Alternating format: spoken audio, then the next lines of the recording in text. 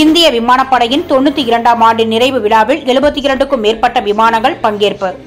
Group கேப்டன்கள் செய்தியாளர் சந்திப்பில் தகவல்.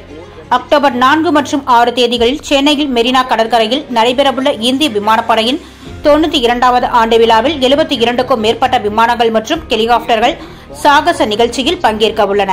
இந்த விழாவில் குரூப் கேப்டன்கள் அஜய் தசரதி மற்றும் சித்தேஷ் கார்த்திக் ஆகியோர் கூறியதுபடி இருபத்தி ஓர் ஆண்டுகளுக்கு பிறகு மீண்டும் மெரினாவில் சாகச நிகழ்ச்சி நடைபெறுகிறது. விமானங்கள் அரக்கோணம் கோயம்புத்தூர் தஞ்சாவூர் பெங்களூர் மற்றும் தாம்பரத்தில் உள்ள விமானப்படை தளங்களில் இருந்து பங்கேற்க உள்ளன. இந்த நிகழ்ச்சிக்காக ஒரு வருடத்திற்கும் மேலாக திட்டமிடப்பட்டு சுமார் ஆயிரத்துக்கும் மேற்பட்ட விமானப்படை வீரர்கள் இதில் பங்கேற்க உள்ளனர். சூரியகிரேன் ஏரோபாட்டிக் பிரிவு ஆசியாவில் ஒன்பது விமானங்களுடன் ஒரே நேரத்தில் சாகசம் செய்யும் பிரிவு என்பதும் குறிப்பிடத்தக்கது.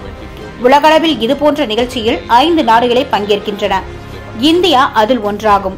இந்த நிகழ்ச்சி உலக சாதனை முயற்சியாக மெரினாவில் நடைபெறவுள்ளது. மேலும் இதை பதினான்கு லட்சம் பேர் நேரில் காண இருப்பதாக கணக்கிடப்பட்டுள்ளது. இந்த நிகழ்ச்சியில் சாகச நிகழ்ச்சிகளுடன் கூடிய விமானப்படையின் திறமைகளை மக்கள் அறிந்து கொள்ள சிறப்பான வாய்ப்பு கிடைக்கும். அதே சமயம் இந்திய விமானப்படையின் சூரிய கிரைன் பிரிவில் பெண்கள் அடையவுள்ள சாதனைகளை எடுத்துக் கூறும் விதத்தில் புதிய பெண் விமானிகளை இணைக்க திட்டமிடப்பட்டுள்ளதாக தெரிவிக்கப்படுகிறது.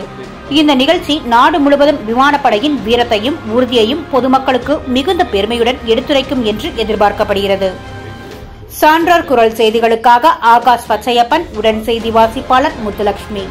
செய்திகளை உடனுக்குடன் தெரிந்து கொள்ள சான்றோர் குரல் பக்கத்தை ஃபாலோ செய்து கொள்ளுங்கள்.